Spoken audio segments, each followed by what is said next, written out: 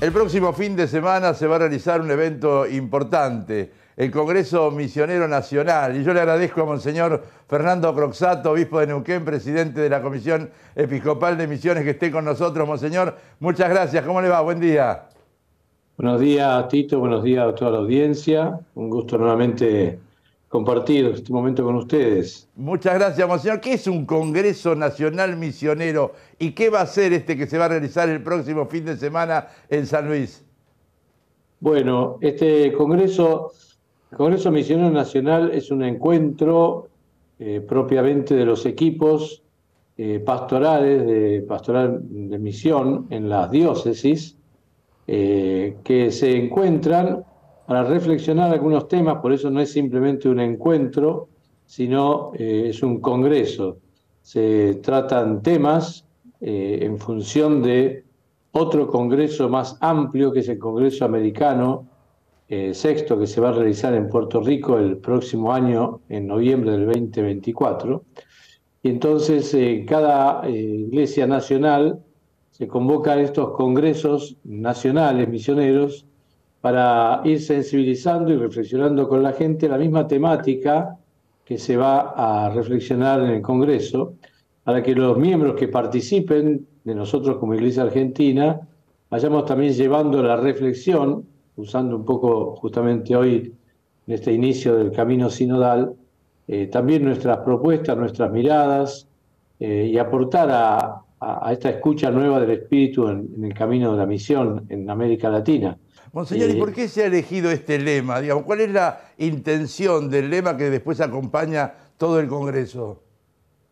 Bueno, eh, como te decía recién, eh, toda nuestra orientación de este Congreso Nacional está tomado del Congreso Americano. Y en el Congreso Americano, dice, con la fuerza del Espíritu, testigos de Cristo, hay un, un acento que el Papa mismo, en el mensaje, en todos los mensajes, pero en este mensaje también por la Jornada Mundial de las Misiones que se va a realizar este próximo fin de semana aquí en nuestro país, también toma como la importancia, lo primordial, como lo propio de la misión, como la misión adyentes, ¿no?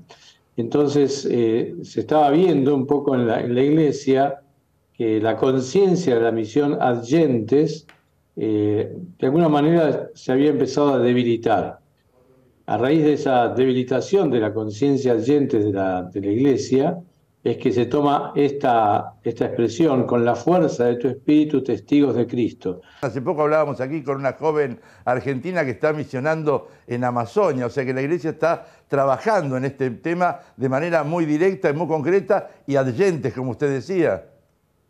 Sí, justamente, pasa que eh, esto que vos decís de la Amazonía, que estamos también con esta, esta propuesta linda como Iglesia Argentina, justamente nace con esta doble mirada, ¿no? Por un lado es como la respuesta al deseo del Papa, del, del Sino de la Amazonía, gesto concreto en, ese pedido del Papa, y por otro lado también con esta intención eh, de, de poder sostener eh, esta mirada más allá de la frontera. Le iba a preguntar, ¿y quiénes pueden participar? ¿Quiénes van a participar el próximo fin de semana en este Congreso Nacional que se va a realizar en San Luis?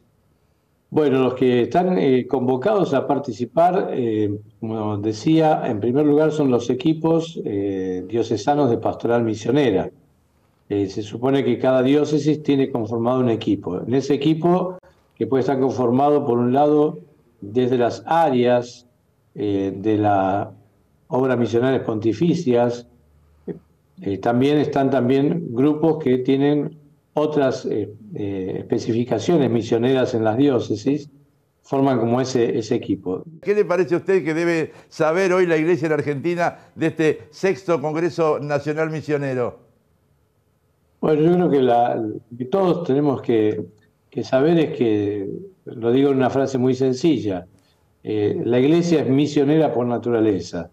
Si la iglesia no mantiene vivo el espíritu, el fuego, eso que el Papa dice en el mensaje, ahora concretamente de este, de este año, del mensaje de la, pastoral misionera, del mensaje misionero, dice corazones fervientes, pies en camino. Si, si lo que tenemos que saber es que la iglesia tiene que estar en un dinamismo de salida permanente y de llegar de encuentro al otro, que no podemos dejar de compartir, como dice el comienzo del Evangelio Gaudium, la alegría del encuentro con Jesucristo. Y estos congresos lo que quieren es justamente motivar, enfervorizar, para que podamos tener como esa fuerza interior de seguir contagiando la alegría del Evangelio. Bueno, ojalá que todos en el país podamos unirnos, sostenernos mutuamente y ser testigos de esta compasión de Dios. Monseñor Fernando Croxato, muchas gracias por adelantarnos todo esto. Seguramente hablaremos luego de las consecuencias. Le mando un abrazo, el afecto de siempre y mi oración por su trabajo, Monseñor Croxato.